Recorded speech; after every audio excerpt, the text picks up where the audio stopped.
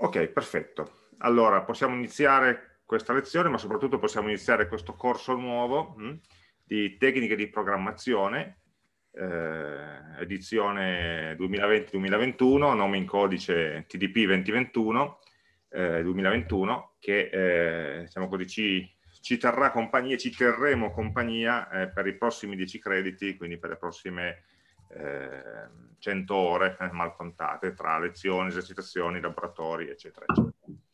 Ehm, vi racconto, spendo la, la, la prima, diciamo così, la, prima ora di lezione, la prima ora scarsa di lezione per raccontarvi un pochino cosa faremo durante il corso.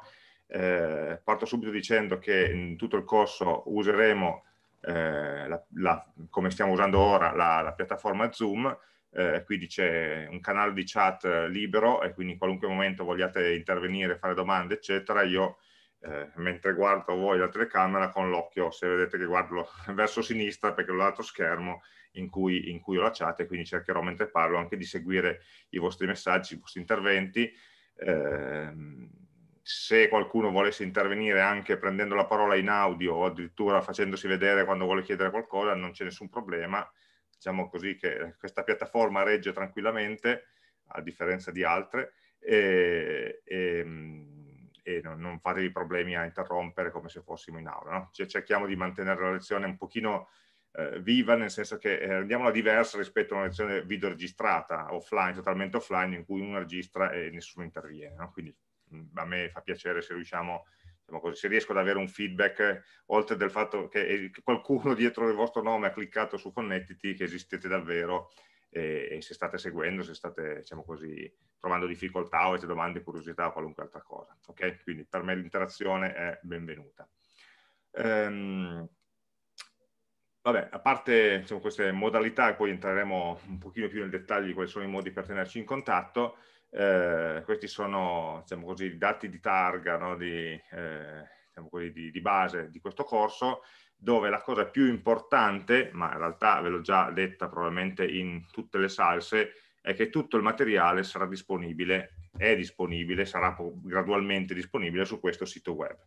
Eh, quindi tutte eh, le slide di lezione, tutti i video registrati, tutti eh, i testi degli esercizi di laboratorio, le soluzioni degli stessi, eccetera, eccetera, saranno tutti sempre su questo sito. Quindi io tenderò praticamente a non usare mai il portale della didattica, eh, salvo eventualmente per caricare una, co una, copia delle video lezioni, perché così ve le, ve le vedete anche, anche sull'app, se, se, vi è comodo vedere direttamente dall'app, eh, o ve le potete scaricare eventualmente, cosa che potete fare così potete eventualmente riguardarle eh, offline, ma il materiale di riferimento, il punto di riferimento è questo. Okay? Da lì trovate tutti i link, tutti, tutte le informazioni eh, rilevanti.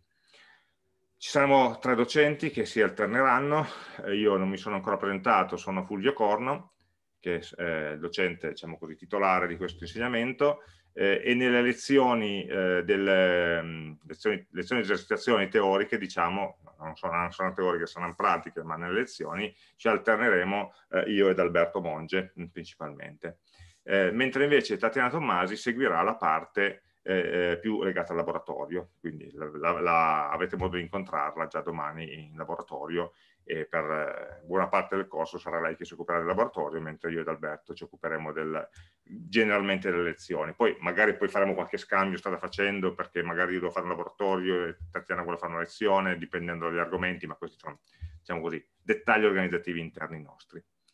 Ecco, ehm, inizia questo semestre di nuovo un po' strano, eh, per essere gentili, per non usare parolacce al posto di strano. Eh, non so, io volevo fare un, minimo no, di, di, di, indagine eh, eh al, per capire dove siete, cosa fate, come, come pensate di organizzarvi. Ok? Allora, se voi prendete in alto in, eh, in Zoom, c'è una, una una voce che si chiama annotate, annotare, annotazioni. Da lì potete prendere una matitina e potete scrivere eh, sulla slide. Quindi, co così ad esempio, no? se io in teoria dovreste, dovreste essere abilitati tutti, che ne so, io vi posso dire che in questo momento sono più o meno in questa, dove è finito, sono più o meno in questa zona qua. Mm? Eh, avete voglia di segnarvi dove siete voi in questo momento?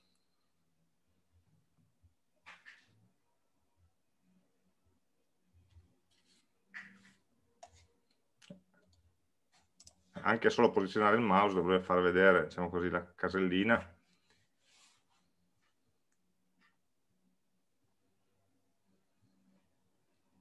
Ci sono due che hanno disegnato delle frecce vicino alla Puglia, quindi probabilmente sono in traghetto che stanno scappando.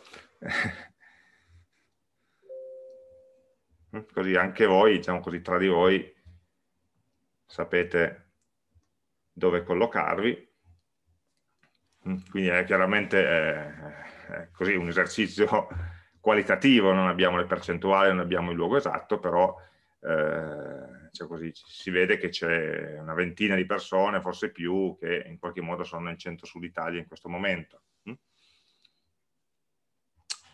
Eh, non, se, non, sembra al momento che ci sia nessuno diciamo così, che sta seguendo fuori dall'Italia, hm? che addirittura saltano fuori i cuoricini, non fatemi emozionare. Eh, ok. Quindi immagino diciamo, che una, una qui non si tratta di votare per la regione che vi piace di più, però eh, regione... Eh, eh, quindi immagino molti, molti stanno gravitando intorno all'area torinese, per cui, diciamo così, la domanda successiva eh, è questa, scusate, fatemi cancellare questa, eh, dove, come si fa a cancellare lo schermo, ok, cancella, sono un po' impedito con questi mezzi interattivi, scusate. Ecco, ehm, vi posizionate da sinistra verso destra in questo spettro, dal dire cerco sempre di venire il più possibile a seconda di oppure quanto... Eh, I cuoricini mi piacciono, eh, mi stanno piacendo piuttosto che gli scarabocchi. Non sapevo che si potessero fare, vedi che imparo sempre qualcosa. Stamp. Io mi metto bello qua in mezzo. Quindi siamo un po' divisi, no? Ehm, forse a spanne mi verrebbe quasi da dire che ci sono persone che eh, erano forse in Piemonte o zona Torino e, e, e, tenderanno anche a seguire eh, online. Mm? Ecco, su questo eh, va bene, abbiamo una buona cioè così, una divisione, mm? adesso come dicevo non è un'indagine quantitativa, quindi cioè, so per avere un'idea eh, di gruppi che hanno scelto di seguire in modo diverso e noi cercheremo nei limiti delle nostre capacità, diciamo così, di riuscire a, a seguire entrambi i gruppi, mh? Hm? quindi diciamo così, provare ad andare avanti come un'unica classe, anche se sarà fatta di persone che eh, tendenzialmente eh, purtroppo non si possono eh, sempre incontrare. No? E soprattutto questo sarà per i laboratori, quindi adesso vi racconto, cerchiamo di raccontarci no? come pensiamo di organizzare i laboratori eh, in modo da ehm, sopperire a questa, ehm, a questa complicazione ovviamente, no? che nessuno di noi ha voluto, però alla fine ci siamo tutti trovati eh, sul groppone. Ok, ehm, cancelliamo, andiamo avanti, perché lui mi nasconde sempre tutti i controlli ogni volta che ne clicco uno. Ok, eh, quindi andiamo avanti a, a, a vedere mh, hm, eh, come anche tenere conto di, di questa situazione particolare eh, per organizzare il corso. Ehm, beh, cosa, cosa, trattiamo? Innanzitutto trattiamo del contenuto e dell'obiettivo. Eh, parlo tra un attimo dei laboratori, Marco, ci arrivo con calma. Eh, diciamo così, questa prossima mezz'ora parleremo di aspetti organizzativi e quindi poi quando vi racconto le cose poi mi fate le domande eh, di dettaglio. Mm? Eh, allora, vi dico prima qual è il mio obiettivo? Eh, sono andato a vedere la prima edizione di questo corso, l'ho fatto nel 2012, mi hanno chiesto fai un corso di algoritmi pregestionali eh, e io mi sono chiesto come faccio a fare un corso di algoritmi pregestionali senza farmi uccidere eh, e mi sono chiesto che cosa interessa a un ingegnere gestionale eh, dal punto di vista diciamo così, della capacità eh, algoritmico-informatica e, e, quindi non volevo chiaramente fare una replica di quello che sono i corsi diciamo, di programmazione che fanno magari gli informatici o gli elettronici, ma adattarlo a quelle che potrebbero essere le vostre esigenze come diciamo, fine di percorso triennale. Eh, ditemi se, se, se, si sente bene eh, o se, se, avete problemi di audio o altro, ditemelo pure e cerchiamo di, di intervenire perché io ovviamente non mi sento. Eh, per quanto riguarda eh, l'obiettivo principale è quello di eh, farci ragionare sulle tecniche di problem solving. Cioè, eh, l'idea eh, che ho in mente è che eh, quando affronterete no, dei problemi nel vostro, nella vostra vita lavorativa, no, da, da, ingegneri gestionali, eh, imparerete nelle varie materie molti metodi no, di, per affrontare i problemi, per approcciarli, eccetera, eh, molti metodi che arrivano proprio dalle vostre discipline, l'economia, la, la, logistica, l'organizzazione, l'impresa, eccetera, eccetera, e avranno tante metodiche per affrontare un problema, per trovare una soluzione di fronte, diciamo così, a un problema eh, aziendale o industriale. Ecco, io volevo eh, semplicemente farvi presente che nella vostra, eh, diciamo così, ehm, tra i vostri strumenti no? a cui potete fare affidamento c'è anche quello dell'informatica, c'è anche quello della programmazione. Quindi tra le varie opzioni possibili per affrontare un problema c'è il metodo tal dei tali, il metodo che ho studiato sul libro, il metodo che mi ha detto il professore, ma c'è anche il metodo informatico, cioè faccio un programma che cerchi di aiutarmi a calcolare la soluzione oppure proprio mi calcoli la soluzione tenendo conto dei vari parametri. Quindi capire come si possono usare eh, i programmi per eh, non solo fare esercizietti cretini come quelli che facevamo al primo anno, o delle query super complicate ma del tutto inutili come quelle che facevate ad esempio nel, nel corso di base di dati, o dei, degli oggetti fini a se stessi come quelli che facevate nel corso di programmazione oggetti, ma eh, programmi completi che risolvono un problema specifico. Hm? Quindi arrivare alla fine e dire, ok, in questo corso facciamo un programma che risolve un problema, così avrete nel cervello in futuro che tu guarda, magari i problemi si possono risolvere anche impostandoli e risolvendoli dal punto di vista informatico. Perché questo abbia senso, dobbiamo metterci in un contesto che sia un contesto non troppo giocattolo. Hm? Eh, nel senso che è inutile che facciamo il programmino che risolva il problema di mettere, eh, posizionare al meglio quattro persone all'interno di tre sale riunioni, ma chi se frega, quello lo faccio a mano, no? perché è certamente un problema giocattolo che non mi serve accendere un computer per farlo. Eh, e quindi dovremo andare su eh, problemi, diciamo così, reali o realistici. E non, eh, non, troppo piccoli, non troppo giocattolo e quindi vedremo che i, i, tipo di esercizi che faremo lavoreranno su dati reali, no? tipicamente anziché su 5, che ne so, pensate ai corsi precedenti, magari avevate un filetto con 5 righe, 10 righe su cui dovete lavorare, qui invece, invece andiamo a scaricarci il dataset, che ne so, dell'Istat di 100.000 righe, ecco, che ha i dati su tutti i comuni italiani negli ultimi 10 anni, qualcosa di questo genere. E allora partiamo da, da problematiche che siano non di big data come si dice, ma perlomeno su dati realistici, e li affrontiamo con eh, del software che sia in qualche modo anch'esso eh, realistico. Hm? Quindi non il programmino, eh, diciamo così, che si lancia da linea di comando che gira nella finestra, nella finestra nera, eh, ma ehm, partiremo già subito, anzi già oggi cominceremo già subito a vedere come impostare un'interfaccia grafica per un programma, perché eh, noi, voi non potrete mai far vedere a un collega, ah ho fatto questo programmino per risolverlo, però per lanciarlo devi scrivere questo comando con questi 27 parametri, ecco, vi ride in faccia e poi non vi saluta più, non vi offre neanche più il caffè. Ehm, e quindi eh, cerchiamo anche di imparare a costruire dei programmi che siano guardabili, no? che siano diciamo così, a, alla pari in certo senso quasi con programmi diciamo così, che, che, che, possono fare altri. Hm? Quindi questi sono i tre obiettivi, imparare a costruire dei programmi che siano mediamente utilizzabili con un'interfaccia grafica essenzialmente, che siano in grado però di lavorare con dei dati anche di ampie dimensioni per poter risolvere dei problemi realistici. Hm?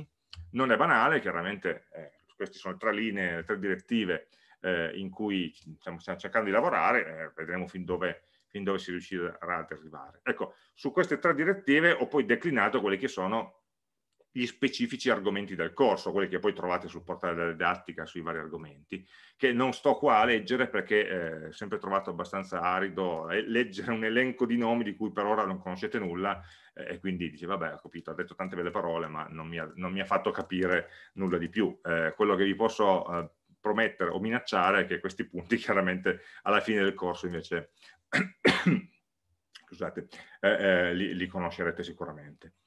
Eh, anche come metodo di lavoro cercheremo di darci degli strumenti eh, che siano, diciamo così, un assaggio no, di quello che fanno gli, gli, ingegneri del software reali, anche come strumenti di, eh, di sviluppo.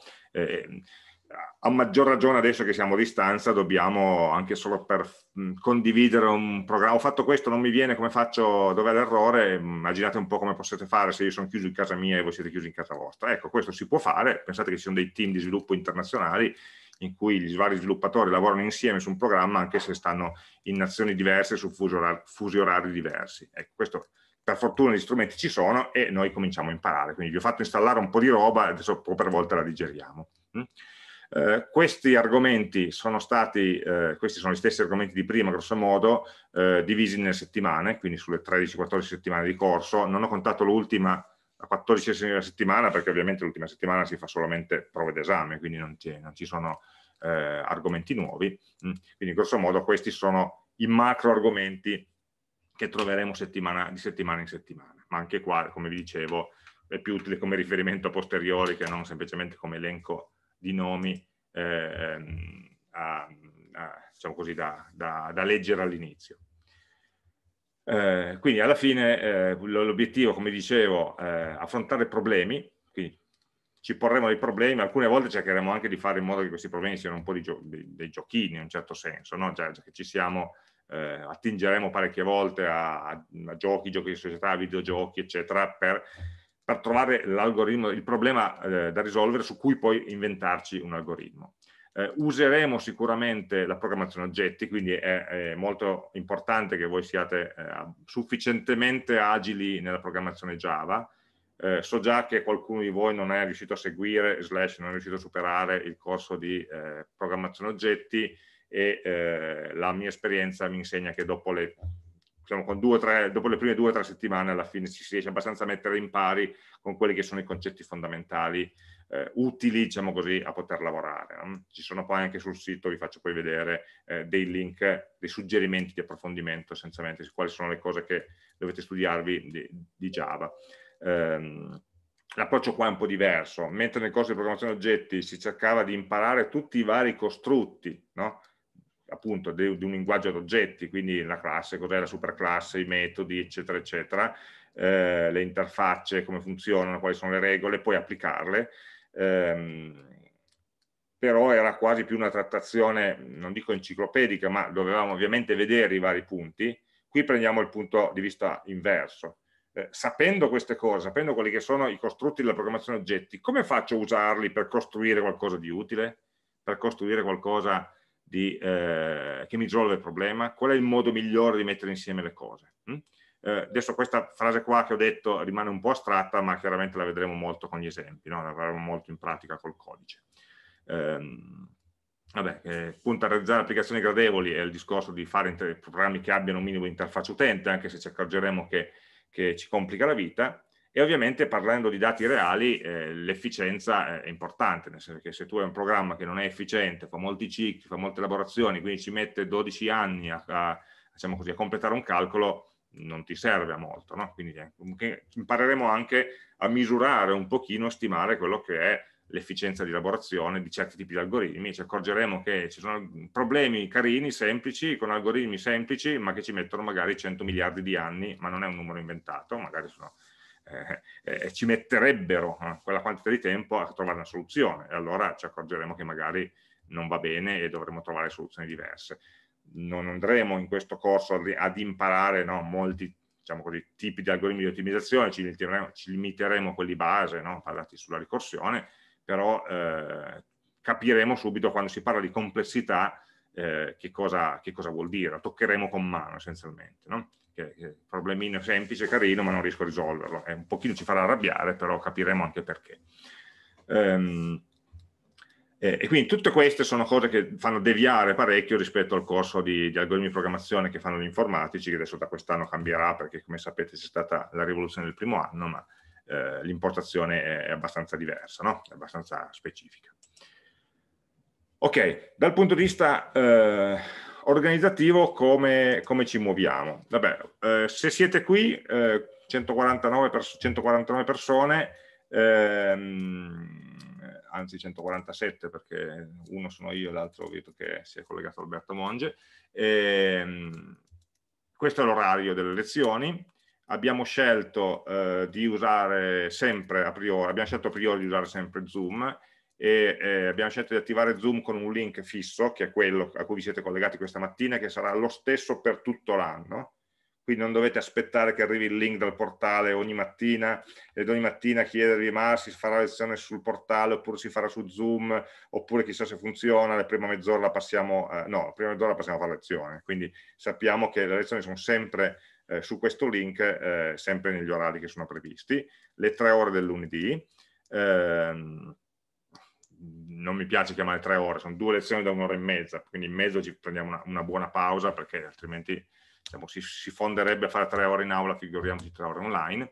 Ehm, e quindi le ore verdi, diciamo così, sono quelle di lezione barra esercitazione, nel senso che poi alla fine vedrete che molte lezioni sono anche molto pratiche, apriamo il codice, apriamo Eclipse, scriviamo il codice insieme, ragioniamo su, su ciò che stiamo scrivendo ehm, e eh, mi farebbe piacere eh, anche se ehm, eh, mi farebbe piacere se anche voi stessi eh, in parallelo eh, provaste no, a fare esercizi che via via, eh, via, via facciamo.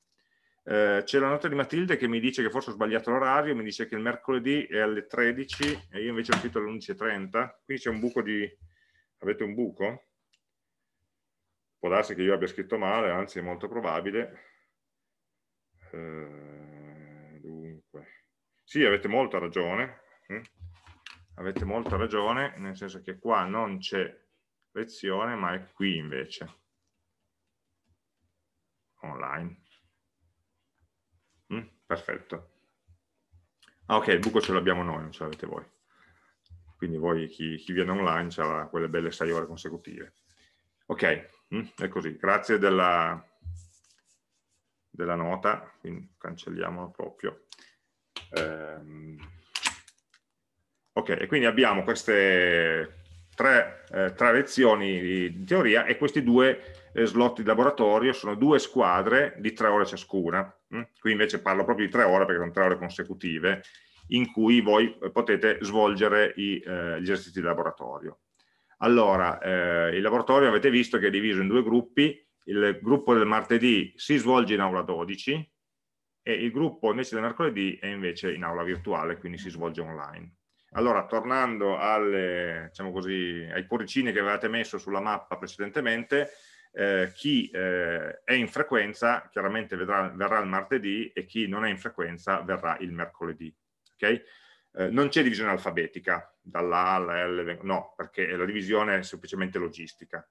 Eh, I laboratori quindi non vengono registrati, eh, perché non c'è nulla da registrare essenzialmente, eh, perché vi verrà proposto il testo, vi viene dato eh, il tempo di risolverlo e ci sarà una videochiamata Zoom con docente, il borsista, eh, che sono pronti a rispondere alle vostre domande mentre, mentre lavorate. Poi di tanto in tanto il docente eh, magari darà dei suggerimenti, dirà siete arrivati fino a questo punto, avete pensato a questo problema, eccetera, a, a mo' di, di stimolo, eh, ma il grosso del lavoro durante il laboratorio sarete, diciamo così, il lavoro individuale in cui cercherete di risolvere gli esercizi. Um, per quanto riguarda il laboratorio in aula sapete che dovete prenotarvi, hm? eh, io ho guardato ieri sera, mi sembrava ci fossero ancora posti liberi, eh, però chiaramente c'è tempo, se non sbaglio, fino, fino all'ultimo giorno, eh, fino al giorno precedente per, per prenotarsi. Eh, L'unica cosa, a, facciamo laboratorio in aula 12 eh, eh, e non, e, non, in un laboratorio informatico. Il motivo è questo.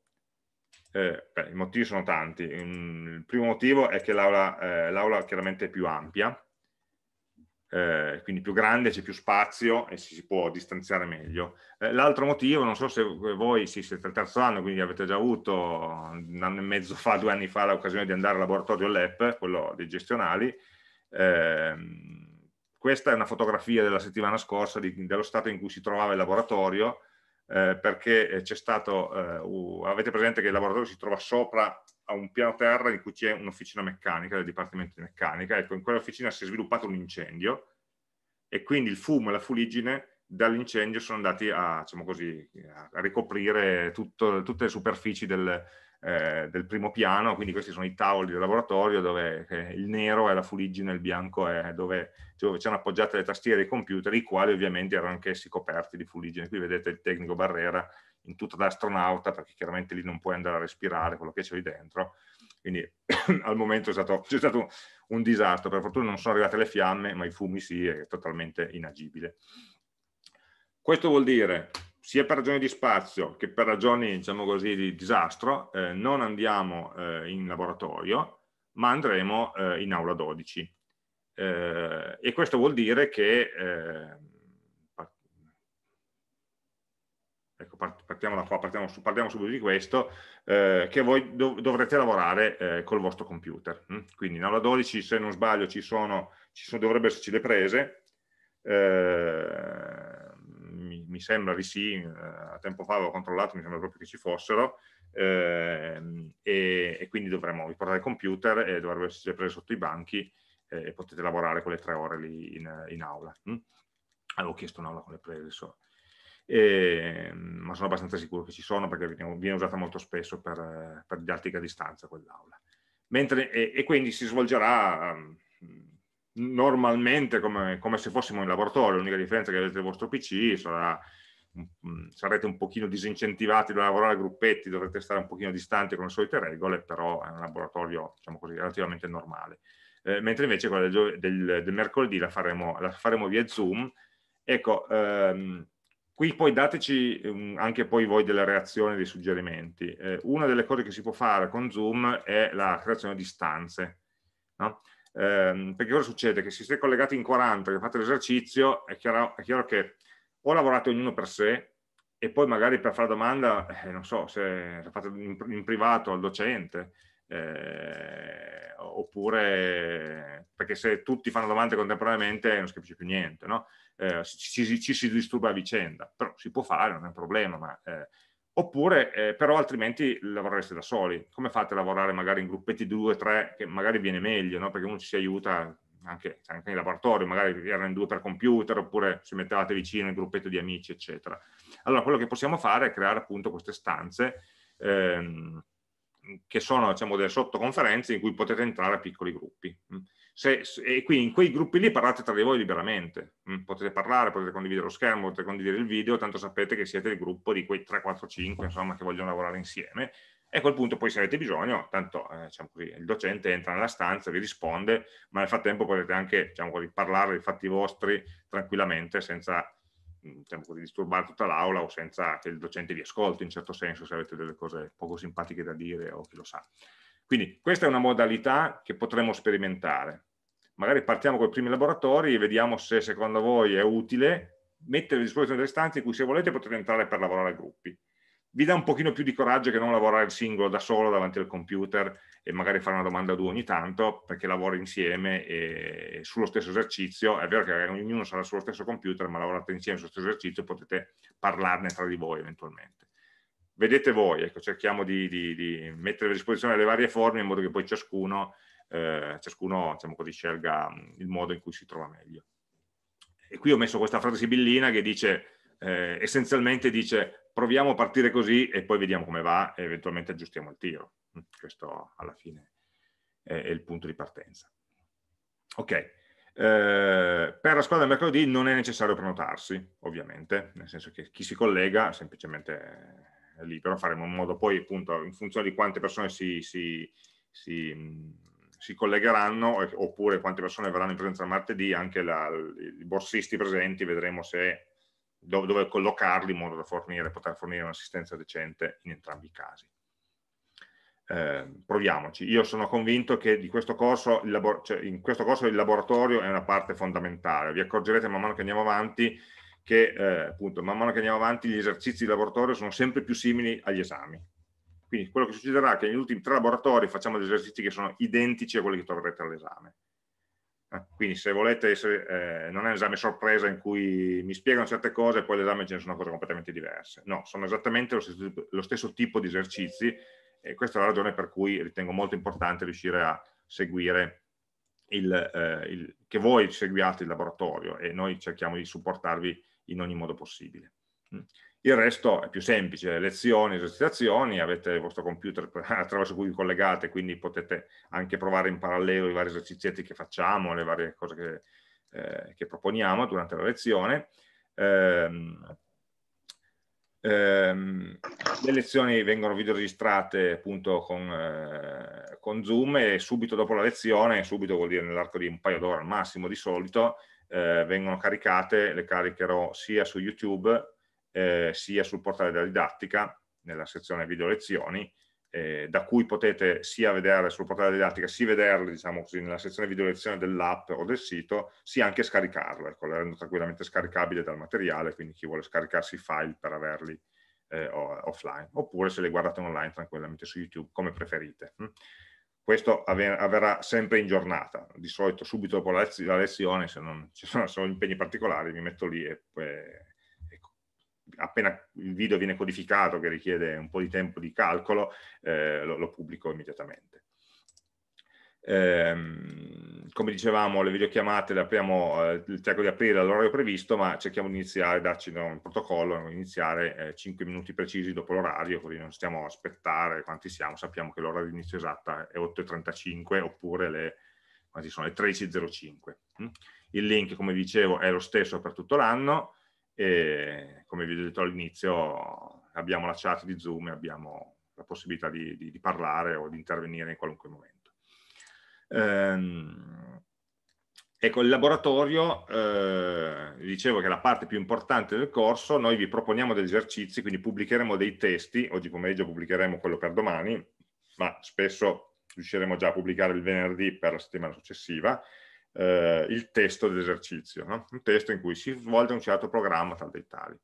Ehm, e poi eh, voi semplicemente dovete risolvere questo, questo esercizio. Noi eh, adesso questa, eh, questa, settimana no perché il laboratorio è già subito domani, eh, ma impareremo poi a usare uno strumento che è questo GitHub, eh, ve ne parlo lunedì prossimo, che è lo strumento per, che ci permette di collaborare a distanza. Quindi impareremo a usare GitHub come piattaforma di collaborazione su cui noi pubblicheremo i testi, noi pubblicheremo le soluzioni, voi potrete scaricarli, modificarli, mh, mm, salvare le vostre soluzioni in modo che anche noi le possiamo vedere, possiamo aiutarvi, eccetera, eccetera. No? È un sistema molto potente, però richiede un minimo di, di, di, attenzione per essere usato, quindi per questo laboratorio di questa settimana, martedì e mercoledì, non useremo ancora questo meccanismo. Però eh, vi avevo chiesto di farvi un account su questo sito GitHub, ehm, anche perché lo useremo sia durante tutti i laboratori, sia soprattutto durante l'esame, cioè la consegna dell'elaborato all'esame avverrà attraverso questa piattaforma GitHub, quindi è bene che non vi accorgiate due giorni prima dell'esame che dovete imparare a usarlo, perché ha degli aspetti non troppo intuitivi, poi in realtà il flusso di lavoro nostro sarà sempre le stesse 3-4 cose, però ehm, eh, eh, per quanto riguarda i laboratori, noi tendiamo a pubblicare anche le soluzioni, quindi diamo un esercizio e poi pubblichiamo le soluzioni, eh, ma tardi, nel senso che le soluzioni quasi, di quasi tutti gli esercizi ormai le abbiamo già tutte pronte, quindi se volete barare potete andare a vedere l'anno scorso, il materiale dell'anno scorso, ma eh, se no, se rimanete, se non volete barare, eh, noi la, la, soluzione non ve la pubblichiamo né il giorno stesso né la fine della settimana, ma di solito 10-15 giorni dopo. Questo per darvi un incentivo in più a provare a risolverlo, okay? a provare a farlo voi e farlo, riuscirci bene, oppure farlo, non riuscirci e chiedere aiuto. Okay? Um, ve lo dico, eh, molti di voi non ci credono, ma io lo dico lo stesso, che se voi vi studiate tante soluzioni, esercizi fatti da altri, non vi serve a niente, no? vi serve a perdere molto tempo eh, gli esercizi si risolvono imparando a risolverli da soli. Qualcuno di voi è un pochino più portato o, o per, per, la materia e quindi vede, vede, intravede prima, trova prima una soluzione, altri invece faticano un po' di più, non è un problema, siamo qui per assistervi, per aiutarvi. Però questo richiede eh, che siate voi stessi a provare a risolvere un problema. Poi vi piantate in un certo punto, vi dite qua non, non riesco più a fare niente, mi sono bloccato, non so come andare avanti, oppure fa una cosa sbagliata, e allora ci fate vedere il codice e noi vi aiutiamo, sia durante i laboratori che durante la settimana. Mm? Abbiamo il canale Telegram apposta anche per potervi dare assistenza in questo modo. Quando impareremo a usare GitHub eh, vi diremo, no, cioè, vedremo anche un metodo molto, molto semplice perché possiamo vedere cosa state facendo, il codice che, potete, che state scrivendo.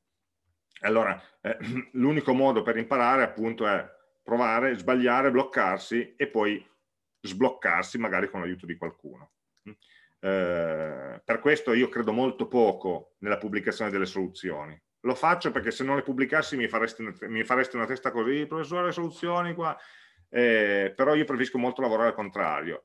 Fammi tu vedere la tua soluzione e io ti dico se va, piuttosto che farti io vedere la mia soluzione e a te non serve a niente. Mm? Eh, non ti serve per imparare come l'avrai costruita. Lo vedremo che magari ci sono dei programmini di, so, 20, 50 righe, 20, anche meno, che ci metteremo due ore a farli insieme, ma li faremo insieme perché ragioneremo su ogni riga di codice, sul perché abbiamo fatto una certa cosa. Se io vi dessi quel programma di 50 righe così, senza il ragionamento che sta dietro, fatto insieme, non vi serve a niente. Dice, oh, ha fatto così, poteva fare in altri 17 modi, perché? Ecco, è questo che cercheremo di ragionare in questo corso, non tanto avere il codice che risolve un problema, ma essere in grado di costruirlo. Mm? Eh, non avremo delle specifiche così precise come quella che avevate, ad esempio, programmazione oggetti, si scrive una classe con questi quattro metodi che facciano queste cose. Quali sono le classi? Quali sono i metodi? Ce lo inventiamo noi. Perché nessuno nel mondo reale, parlavamo di problemi reali, ci dice, ah, serve una classe che... No, serve un programma che risolve un certo problema. Mm? Quindi questa è un pochino eh, la logica no, in cui dovremmo riuscire a entrare insieme. Eh, poi, come dicevo, ah, visto che mm, lo, lo, chiedete sempre, io le soluzioni ve le do lo stesso, ma mh, mm, dicendovi già subito che non servono a niente. Eh, C'è anche una risorsa in più da quest'anno, anzi dall'anno scorso. L'anno scorso eh, col Covid era stato un pochino più complicato rispetto a quest'anno e quindi abbiamo fatto un corso che è stato praticamente tutto di video lezioni registrate. C'era pochissima interazione anche i laboratori stessi. Quindi avevamo il borsista in cui non sapevamo cosa fargli fare essenzialmente e eh, abbiamo avuto l'idea di fargli fare dei video in cui lui, il borsista dell'anno scorso, risolveva gli esercizi di laboratorio. Allora, poiché praticamente non pensiamo di modificare i testi degli esercizi, queste soluzioni, che sono dei video in cui lui parte dal testo e risolve, sono fatti abbastanza bene, eh, possono, sono una risorsa, vi ho già linkato sul sito, e, e può essere utile non tanto per vedere la soluzione, ma per vedere una risoluzione, cioè una persona che risolve parlando a voce alta e facendo i vari passaggi. Mm? Eh, però non fatelo mai prima di averci provato voi, ovviamente. E sappiate che se poi l'avete voi risolto il problema in un certo modo, il borsista lo risolve in un modo diverso e magari noi a lezione, perché la settimana dopo la vogliamo risolvere, risolviamo in un modo ancora diverso, va bene. Mm? non c'è una soluzione giusta che è quella del professore e la mia è per forza sbagliata se è diversa, anche come impostazione. Okay? Eh, le soluzioni giuste sono migliaia possibili, migliaia di alternative. Um, ok, il materiale abbiamo già detto è tutto su questo sito del corso che se vogliamo possiamo un attimo sbirciare insieme per così vi, vi evidenzio quali sono le sezioni eh, ammesso che me lo carichi, sì. Eh, vabbè, questa pagina iniziale di informazione non dice nulla, probabilmente anche qua c'è scritto, eh, vedi che ho sbagliato anche qua, eh, l'orario delle lezioni, lo correggerò. Eh, questa pagina di informazioni dà qualche link, essenzialmente il link a, a, a GitHub, eh, il link ai testi d'esame, adesso li vedremo e poco altro. Um, la parte interessante no, su cui lavoreremo di più è queste due eh, parti qua, lezioni e materiale, eh, dove nelle lezioni c'è il calendario delle lezioni, quindi noi cercheremo di mettere già anche con un po' di anticipo gli argomenti che tratteremo, a fianco di ciascuno le slide che verranno usate, quindi voi avrete sempre le slide in anticipo, a volte poco in anticipo, a volte tanto in anticipo, dipende un po' dagli argomenti, eh, slide oppure il testo del laboratorio sarà, sarà diciamo, su queste sezioni qua e poi nella colonna video pubblicheremo eh, il link al video su YouTube eh, delle, delle, singole lezioni, video che vi troverete come dicevo anche, anche sul portale della didattica. Quindi qui la, questa sezione qui diciamo così che si chiama eh, lezioni la potete usare per pianificare ehm, sapete che, le, che, che, argomento verrà fatto in quella lezione, sapete che cosa è stato fatto il giorno prima, avete tutto il materiale relativo a ogni singola lezione. Mentre invece la, la porzione materiale eh, ha il, i lucidi delle lezioni, le slide, sono gli stessi che ci sono nella, lezione, ehm, nella sezione lezioni, solo che nella sezione lezioni sono linkati in ordine cronologico, nella sezione materiale sono linkati in ordine di materiale, in ordine diciamo così, di, di argomento. Mm? Qui compariranno anche le, le video lezioni, le stesse che ci sono dall'altra parte, e anche qua i testi dei laboratori e come vi dicevo le soluzioni dei laboratori che, che fece il borsista dell'anno scorso. Eh, poi i vari esercizi che faremo in aula li pubblicheremo anche su questo sito GitHub, su questo repository GitHub, come vi dicevo dalla settimana prossima impareremo, impareremo a usarlo, ma questo vuol dire che tutti gli esercizi che faccio io, che farà Alberto durante le lezioni, eh, non dovete necessariamente fare attenzione a copiare tutto quello che facciamo, perché vabbè, a parte che ci sarà il video, ma poi alla fine della lezione di sicuro sempre immediatamente vi condividiamo il file su cui abbiamo lavorato. Quindi state attenzione al ragionamento che facciamo, che cosa facciamo e non state, non, diciamo, dedicate la vostra attenzione a ricopiare esattamente quello che stiamo facendo perché tanto siete sicuri che lo stesso file lo pubblichiamo eh, perché lavoriamo già direttamente su quest'area condivisa di, di, GitHub essenzialmente no? E quindi eh, nel momento in cui salviamo il file eh, un bottoncino si chiama push e automaticamente lo potete vedere e saranno tutti lì questi esercizi che sviluppiamo via via durante le lezioni eh, poi ci sono altre librerie, altri dataset che via via eh, potremo poi, eh, di cui potremo avere bisogno eh, in futuro. Okay? C'è poi una sezione esame eh, che contiene le regole di funzionamento dell'esame e i testi d'esame degli anni precedenti, ci sono quasi, no, non tutti perché ce ne siamo dimenticati alcuni, ma eh, buona parte. Eh, ovviamente avremo modo di parlare dell'esame più avanti, quindi non vi sto ad annoiare adesso, tanto poi ci dimentichiamo. Eh, vi dico solo due cose di base. Eh, l'esame non sarà con Respondus, eh, sarà un esame in cui voi dovrete risolvere un esercizio di programmazione a casa vostra sul vostro computer, con videosorveglianza. Quindi apriremo una chiamata Zoom nella quale noi vi guardiamo con la telecamera e vi chiediamo di condividere il vostro desktop, con Zoom è possibile che più persone abbiano la condivisione desktop contemporanea e quindi voi, noi possiamo vedere cosa state facendo e vedere cosa avete sul computer. In questo, in questo modo ci sembra che la sorveglianza sia sufficiente senza usare gli strumenti del, del demonio ehm, e, e, quindi facciamo un compito diciamo rilassante o nel senso che l'unico diciamo, componente d'ansia è fare il compito giusto. Non ci sono imprevisti dovuti alla connessione, al respondus che cade, l'autenticazione eccetera eccetera.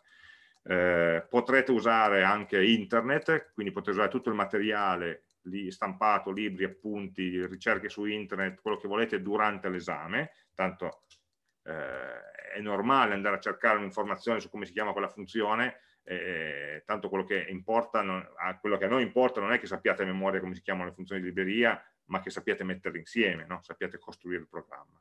Quindi è un esame in cui in queste due ore vi mettiamo in condizioni più realistiche possibili per poter realizzare un, un, vostro programma. Alla fine delle due ore questo programma viene consegnato attraverso GitHub e subito dopo viene verificato. No? Eh, viene verificato che eh, chiaramente diciamo, faccia ciò che deve fare e adesso poi vi, vi parlo tra un attimo delle modalità de, in cui, eh, in cui ehm, eh, vengono calcolati i voti. Um, quando parlo di consegne, mi chiede Giulio, noi non, non, non, chiediamo consegne dei laboratori intermedi, cioè i laboratori li fate per voi. Hm? Uh, noi non, non, diamo voti ai laboratori consegnati.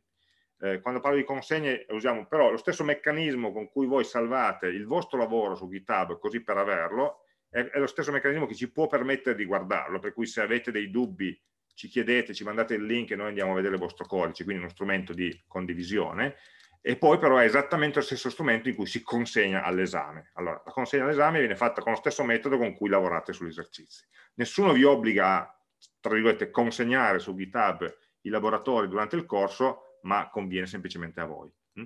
È un metodo di lavoro, diciamo così, che così impariamo a usare. Come dicevo anche prima, se lavorate in gruppo, eh, GitHub permette anche a più persone di lavorare contemporaneamente sullo stesso, pro sullo stesso progetto, quindi è anche uno skill che, che ci serve o vi serve per il futuro. Ehm, non ci saranno strutture simili ai test di programmazione oggetti? No, non ci, sono, non ci, sono, dei test automatici. Mm? Eh, vi daremo un test di un esercizio, un problema, vi diamo uno scheletro di programma, in cui, ma di fatto uno scheletro vuoto, eh, c'è già l'impostazione del programma, ma come vedremo è quello che viene creato automaticamente quando crea un progetto, ma così abbiamo tutte le stesse librerie preimpostate, non dovete perdere tempo a impostare librerie, eccetera ed all'interno di questo scheletro dovete realizzare il vostro programma, siete totalmente liberi eh, di, fare, di, fare, ciò che volete e il test sarà un test umano, no? nel senso che insieme apriamo il programma e vediamo se funziona. Ehm, eccolo qua. Eh, allora, per fare questo, come dicevo, dalla settimana prossima useremo, ma voi nel frattempo vi ho già chiesto di eh, creare un account su questa piattaforma che si chiama GitHub, ci sarà un'area eh, dedicata al nostro corso che si chiama appunto eh, TDP 2021 eh, eh, su GitHub. Al momento c'è un, un, progetto solo, si chiama un repository in gergo che si chiama materiale, dove ho messo anche le slide, che sono le slide dell'anno scorso, che poi via via aggiornerò, però lì dentro c'è anche una copia di tutto il materiale eh, didattico del corso, eh, è un altro, un altro, luogo da cui potete scaricarlo eh, se, se, vi fa piacere.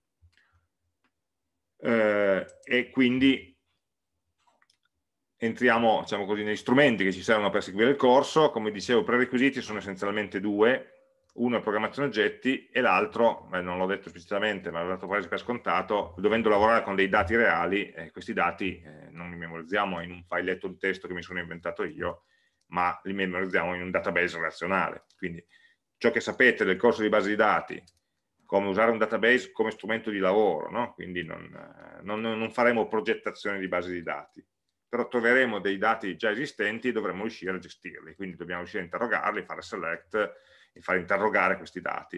Eh, vedrete che le interrogazioni che faremo qua saranno meno complicate di quelle del corso di base di dati, però saranno anche molto meno guidate, nel senso che di nuovo all'esame di base di dati vi dicevano fai un'interrogazione che tiri fuori questa informazione, poi c'erano sei righe di, di complicatissime che, che vi, vi, vi, vi, spiegavano che tipo di interrogazione fare. Qui non c'è di nuovo nessuno che vi dice che tipo di query mi serve, so che al mio programma servono certi dati e mi invento io come fare ad estrarli dal database, quindi la specifica della query me la devo dare io. Mm, questo è il gradino in più che stiamo facendo in questo corso.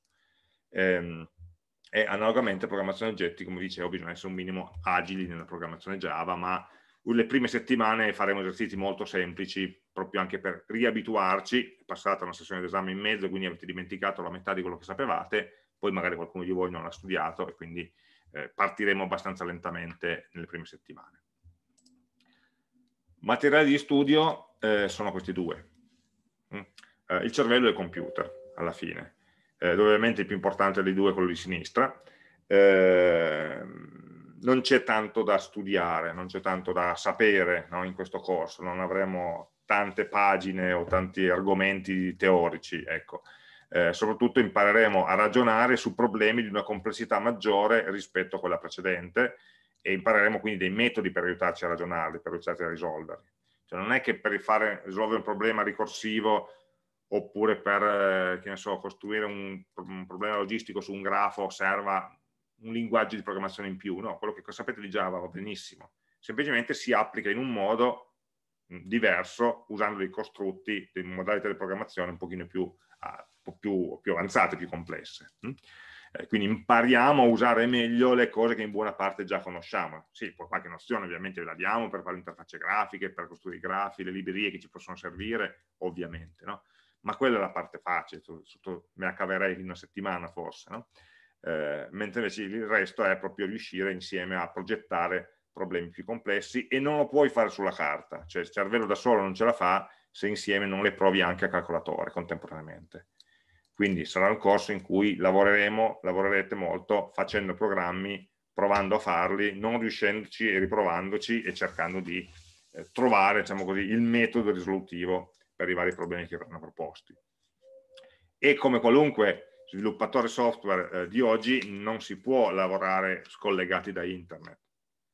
Eh, la documentazione delle librerie, i motori di ricerca, eh, Stack Overflow che è il sito in cui i programmatori si fanno domande e risposte ai vari problemi, quindi magari molto probabilmente trovate già la risposta al vostro problema perché è stata fatta da qualcuno e è stata risposta da qualcun altro anni fa, eh, sono strumenti di lavoro quotidiani no? di, di, di, di, un ingegnere del software e, e anche di un ingegnere gestionale, tutto sommato. Eh, e quindi ci abituiamo a usarli. Ci abituiamo a usarli e voi dite sì, ma no, ehm, primo non è così scontato, eh, io già vedo di solito la metà di voi quando cerca qualche cosa scrive una domanda che è troppo specifica su Google o la scrive in italiano e non trova niente hm? o trova solo stupidaggini. Devi anche saper fare domande, devi sapere cosa ti serve poi devi scriverlo sicuramente in inglese perché lì trovi più, più risposte, ehm, e però non devi fare la domanda specifica all'esercizio, ma, ma la domanda relativa al concetto di programmazione che non sai. Quindi non è neanche scontato, noi cercheremo di farlo, imparare a leggere la documentazione, le librerie Java sono tutte molto ben documentate con il loro JavaDoc, quindi non accontentiamoci di quello che racconta, che ne so, in modo molto riassunto le slide. Vedete che nelle mie slide non ci sono quasi mai spiegazioni sulla programmazione. Se abbiamo bisogno di sapere come funziona una certa classe, andiamo a vedere nella sua documentazione originale, abituiamoci ad andare a leggerlo. Non è difficile, è solo scritto in un modo in cui devo sapere dove andare a cercare le informazioni ma non serve andare a guardare su una slide oppure su un libro dove gioco forza le informazioni sono di seconda mano e spesso riassunte o semplificate. Impariamo ad andare a leggere la fonte. Okay? E poi impariamo a farci aiutare dal computer a risolvere i nostri programmi, i nostri problemi. Cioè questa cosa qua bruttissima che vedete nella slide, altro non è che l'icona del debugger di Eclipse ingrandita, perché in realtà poverina quell'icona è piccola, quindi è già brutta così, se la ingrandisco diventa ancora più brutta, questo scarafaggio, è il debugger che però ci salverà molte volte quando il programma non funzionerà. E quindi anche imparare a fare debugging, che non è solamente vado avanti passo passo finché non mi viene la noia, eh, è, è, importante, cercheremo di farlo. No? Quindi anche noi cercheremo, anche nel, nel svolgere esercizi, di sbagliare, ma spesso non lo facciamo apposta, sbagliamo e basta come tutti, eh, e è molto importante non solo saper risolvere un esercizio giusto, cosa che non si fa mai al primo colpo, ma è importante trovare gli errori in un programma che avete fatto e non funziona. Mm? Quindi questa è la situazione normale in cui ci si trova, eh, parlavo prima di situazioni realistiche no, da, da, mondo reale, eh, a, a, risolvere un problema. Questi sono gli strumenti che abbiamo, abbiamo davanti a noi tutta internet, abbiamo un computer che sa fare tutto e tratta a noi mettere insieme i pezzi e riuscire a trovare la soluzione. Poi ovviamente eh, noi cercheremo di mettere a disposizione tutto il materiale, come appunto le slide, eh, ci sono dei riferimenti ai, ai, libri di testo per chi avesse piacere di approfondire su qualche libro di testo, eccetera, eccetera, ma eh, direi che essenzialmente non c'è bisogno di tanto materiale scritto o materiale di studio in quanto tale in questo corso. Eh, ciononostante, come dicevo, il materiale che vediamo è tutto qua, eh, che sono essenzialmente gli esercizi e le slide e i testi delle, delle, dei, dei laboratori, testi e soluzioni dei laboratori se qualcuno fosse interessato, eh, posso, qui ci sono alcuni libri di testo da cui abbiamo preso alcune parti, ehm, più algoritmico, più relativo all'interfaccia grafica, la parte di JavaFX, eh, o la parte di, sui design, vedremo alcuni design pattern, questo libro li racconta molto, in modo molto carino.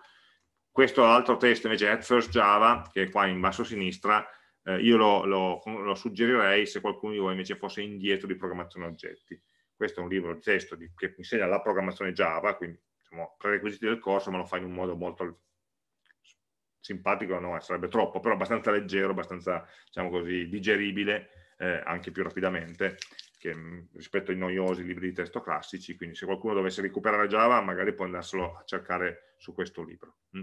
Gli altri sono testi mm, un pochino più specifici di approfondimento, ma non, non vi sto consigliando di, di, di, di procurarvene nessuno nello specifico. Mm? Eh, quello che ci serve lo vedremo insieme e poi eh, il 99% di ciò che ci serve c'è anche su internet, è documentazione pubblica, documentazione delle librerie, di come funziona JavaFX, che è la libreria che useremo per, per la grafica, documentazione di JGraphT, che è la libreria che useremo per i grafi e così via, è tutto documentato online, quindi spesso non servono i libri.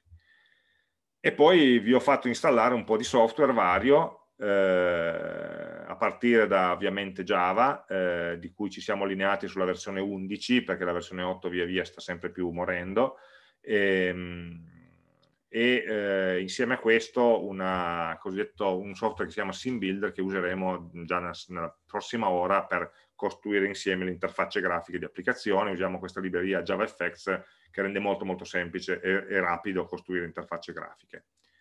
Eclipse ovviamente come ambiente di sviluppo, perché è quello a cui siete abituati già dal corso precedente, e poi un database, eh, tendenzialmente MariaDB, eh, ma che in realtà è un clone di MySQL, eh, va anche bene la versione di MariaDB che c'è dentro XAMPP, se ce l'avete installata per il corso di DOI o, o dai corsi precedenti, l'importante è che ci sia un database sul vostro computer, eh, e eh, un'interfaccia grafica come ad esempio IDSQL che è stato suggerito nelle slide che ci permette di lavorare con le query in un modo un pochino più comodo, eh, costruire le tabelle, vedere le colonne, i tipi di dati in un modo un pochino più comodo che non lavorare semplicemente a linea di comando. Eh, per quelli di voi che hanno usato PHP MyAdmin forse nel corso di basi dati, IDSQL è un programmino un pochino più eh, comodo ancora da usare, ma fa essenzialmente quelle cose.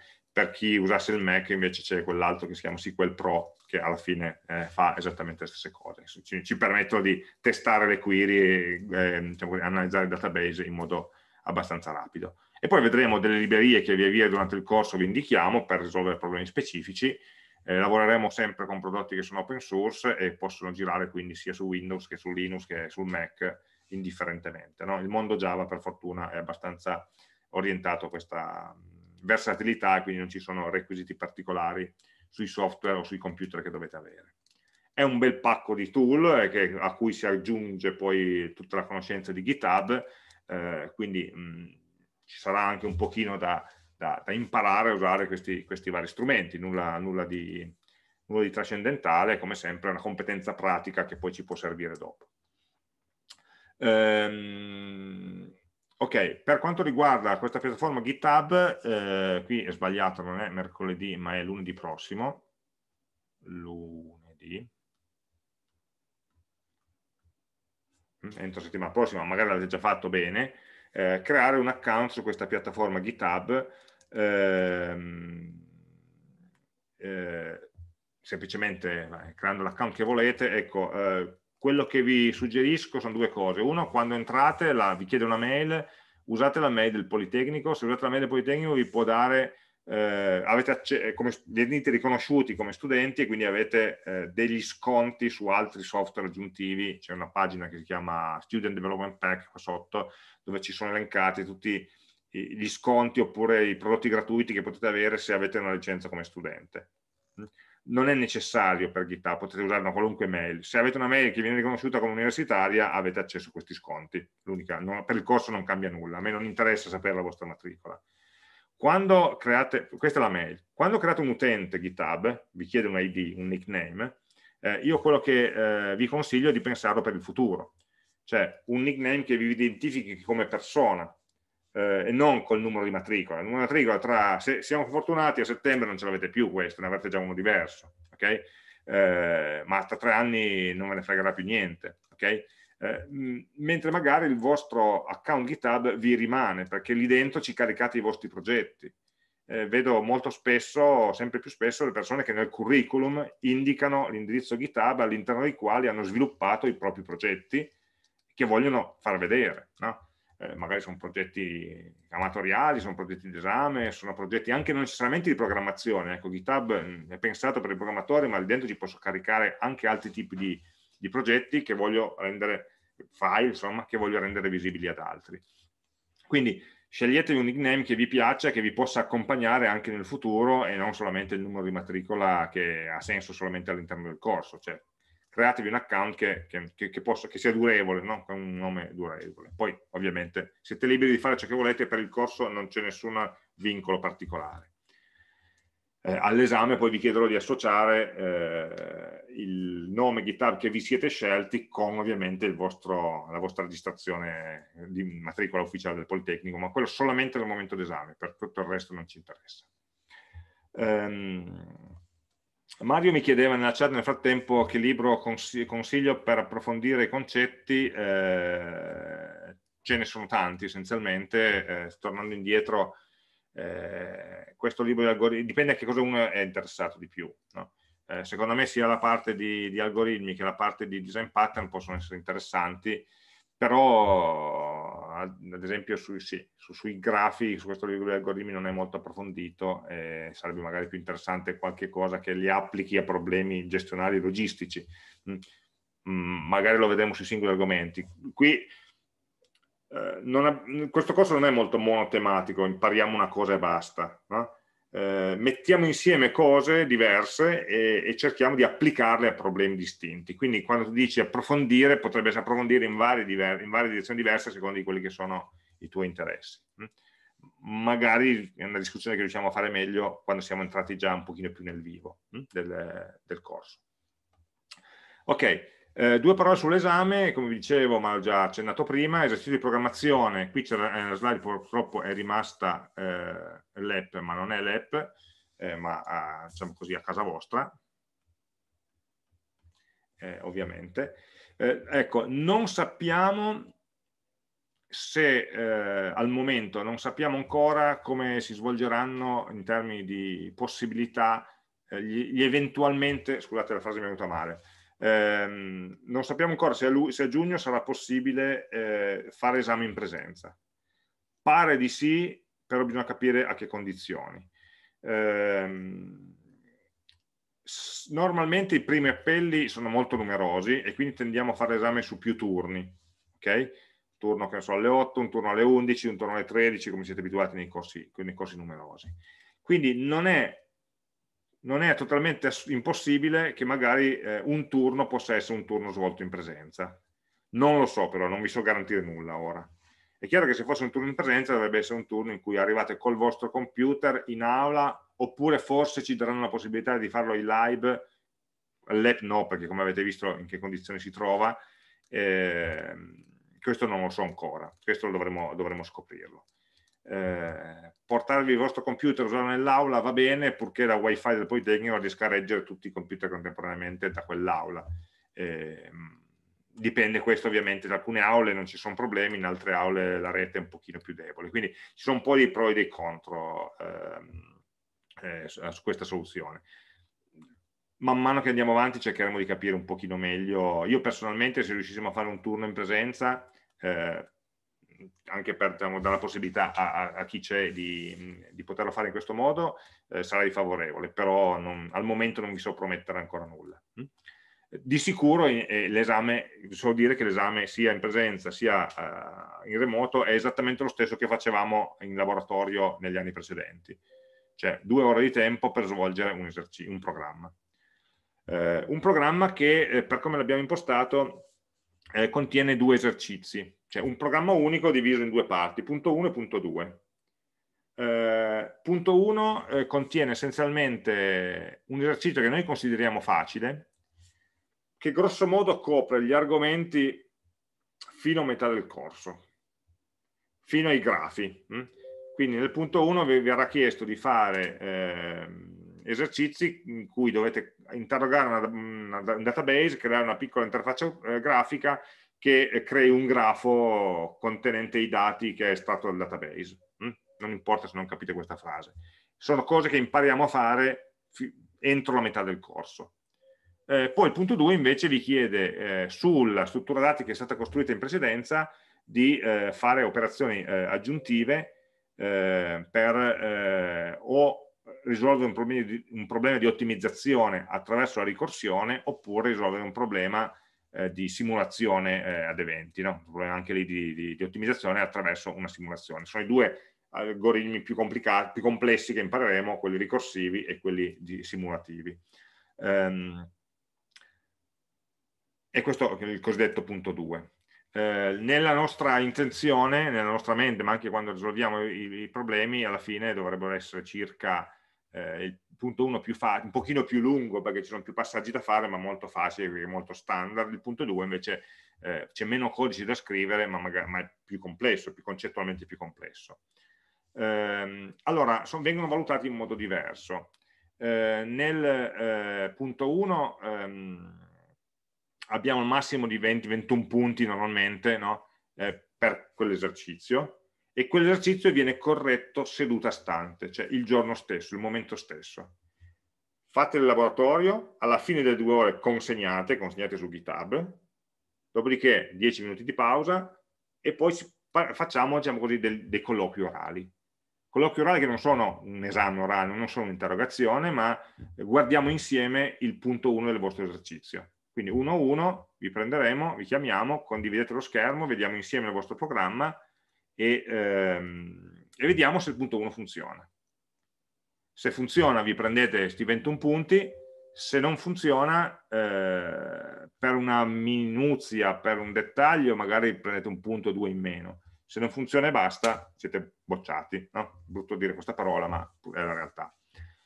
E quindi una valutazione tipo on-off, funziona o non funziona. Quindi noi diamo per scontato che alla fine delle due ore, come minimo, il punto 1 deve, deve essere riusciti a farlo.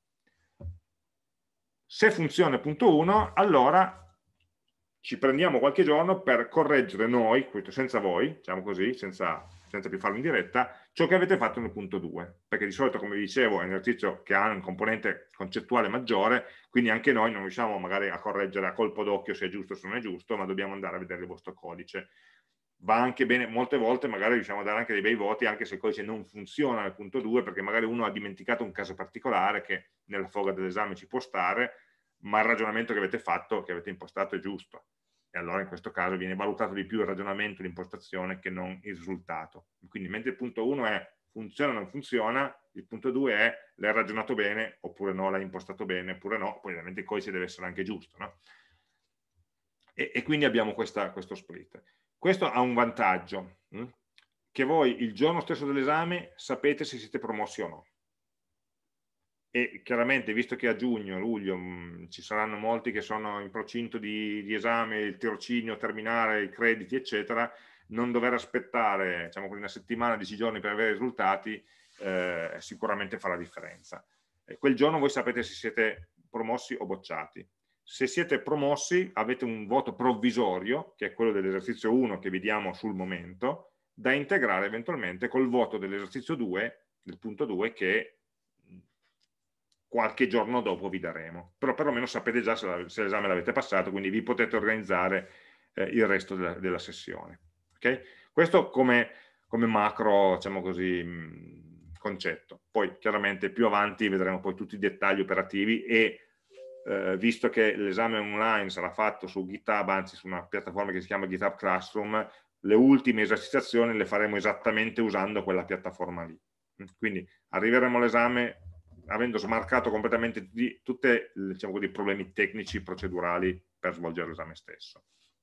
Eh, perché appunto le ultime esercitazioni saranno esattamente identiche. Normalmente quello che facciamo noi è preparare quattro testi d'esame e poi a caso ne estraiamo due, ve li diamo come esercitazioni, gli ultimi due laboratori, e gli altri due li usiamo come appelli veri e propri. Quindi da quel, dal nostro punto di vista saranno esattamente identici e verranno svolti anche sulla stessa identica piattaforma. Così è chiaro che se poi uno si sveglia all'esame il giorno prima e cerca di capire come sono state fatte e non ha partecipato alle simulazioni precedenti, questo poi è un problema suo, ma vi diamo tutto diciamo, lo strumento, gli strumenti per poter arrivare all'esame avendo diciamo così, tranquillità sulla, sulla modalità di svolgimento.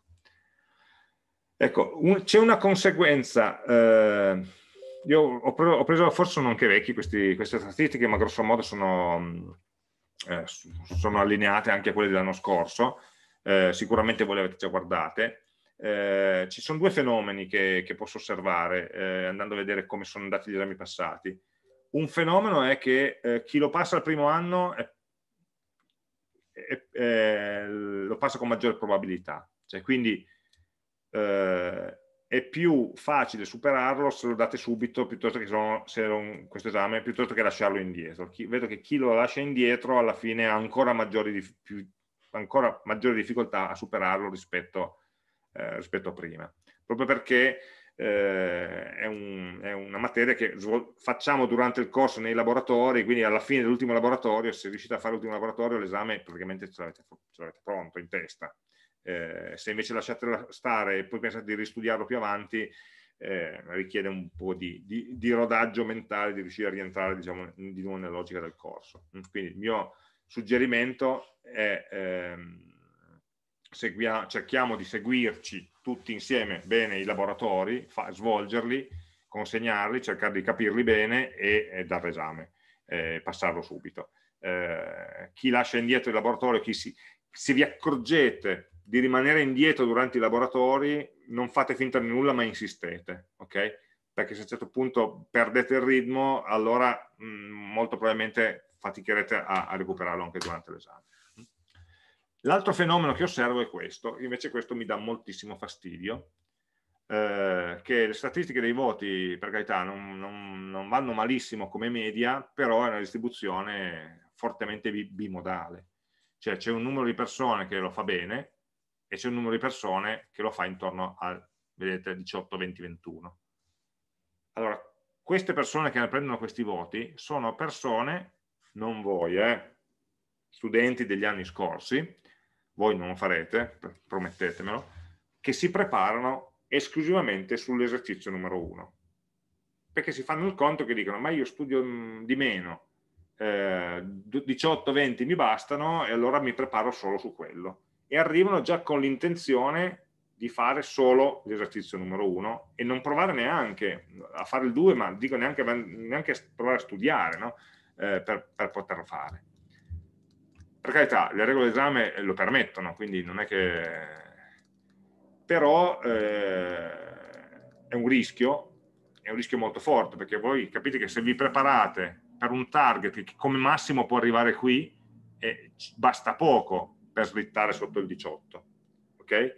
basta un errore e, e, oppure una, una, cosa che non avete capito bene e automaticamente siete bocciati, no? perché voi, cioè voi, non voi, coloro che facevano questo ragionamento puntavano a un voto che era appena superiore al 18, quindi per pochi errori, per poche eh, cose sbagliate, chiaramente l'esame era non valido e ovviamente non fa, non fa mai piacere.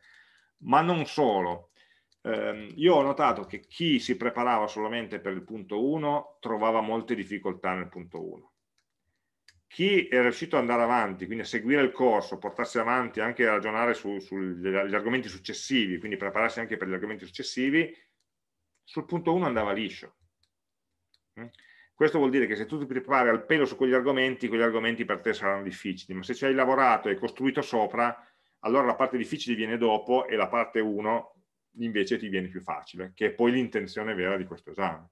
Parte 1 magari un po' lunghetta, ma non ha difficoltà, non ha vere difficoltà. Se trovate difficoltà lì, in realtà siete ancora molto, siete, perché siete molto indietro. Okay?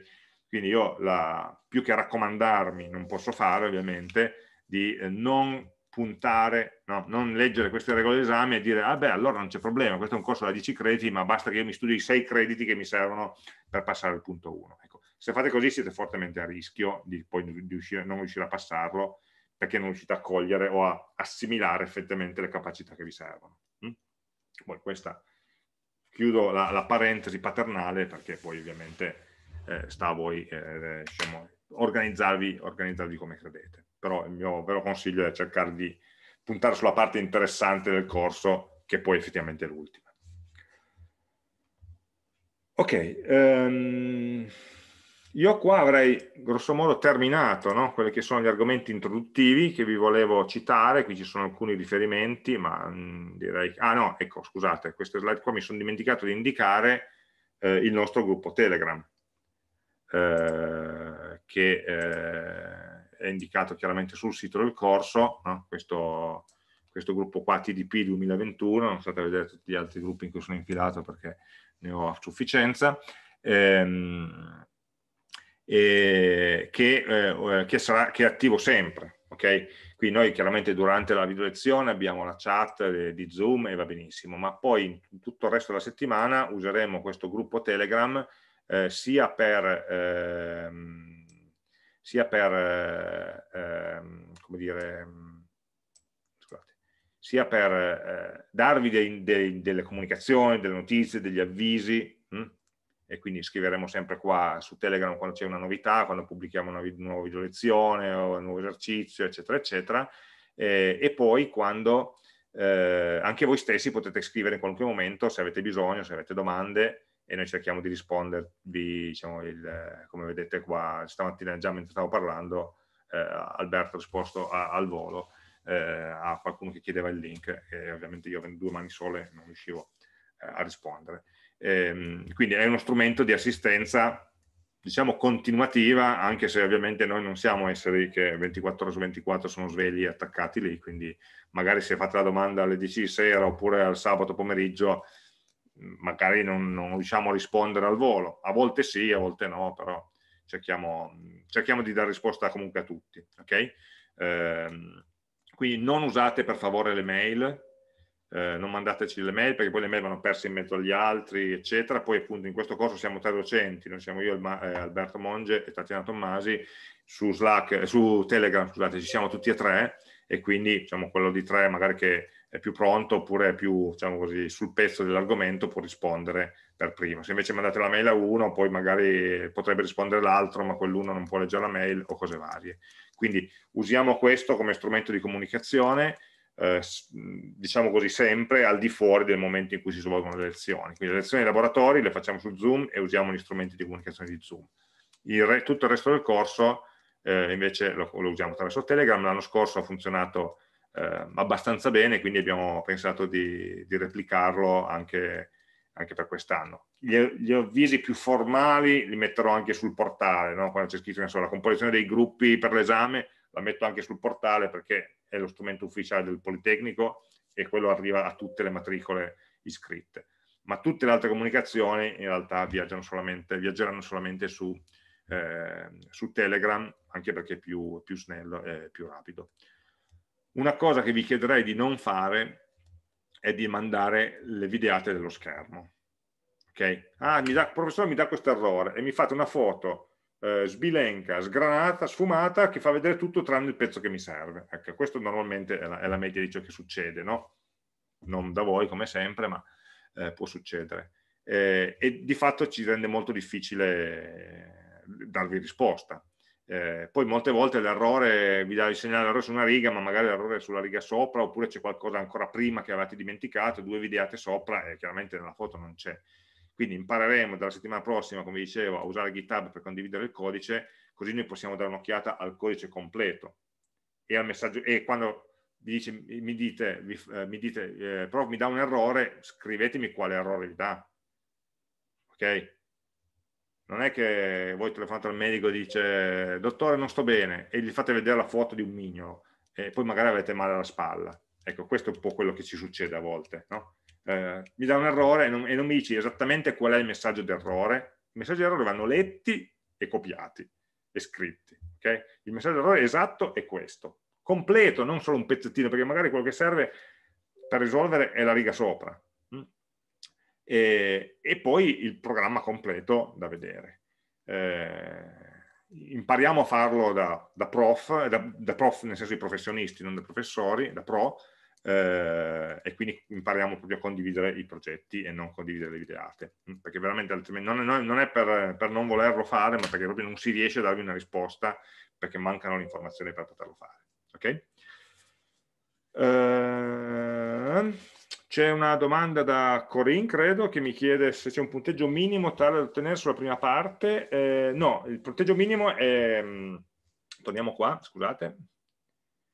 Eh, non c'è un punteggio minimo. Eh, do, allora, normalmente il punteggio minimo è 18. Eh. Eh, qui, qui parli di valutazione on-off, eh, vuol dire che se, se è off, scusate, tolgo questa finestra così notifiche va dall'altra parte eh, se la votazione non è sufficiente per il primo punto, l'esame non è superato. Noi possiamo avere un pochino di margine, nel senso che magari uno dice sul punto 1 prendo 16 punti e allora sul punto 2 magari ne hai 8 e allora va bene, ok? Però non tanto di più, che il punto 1 non può essere tanto più insufficiente perché altrimenti poi il programma non funziona. Attenzione, non sono due esercizi diversi, eh? è lo stesso programma, che continua. Quindi se la prima parte proprio non funziona, la seconda parte neanche potrà funzionare perché si costruisce a partire dalla prima. Non sono due esercizi indipendenti. Quindi può darsi che ci siano delle imperfezioni sulla prima parte che la rendano lievemente insufficiente, a maggior ragione se avete fatto un po' di seconda parte riusciamo a recuperare qualche punto. Però ad un certo punto quando la prima parte diventa troppo insufficiente, la seconda non potrà essere sufficiente perché vuol dire che avete sbagliato delle cose che neanche la seconda parte poi non, non riesce a stare in piedi. Quindi quello che possiamo, non, un, non, non, abbiamo una soglia numerica che dice a quando è minore di tot, però diciamo così, al di sotto del 15-16 il punto 1 non può scendere, altrimenti l'esame di sicuro è fallito. Quei due o tre punti possono essere recuperati dalla parte 2 se fatta bene. Penso che fosse questa la tua domanda. Ok. Ok. Ci sono altri dubbi? Domande? difficoltà, cose che ho dimenticato di dirvi.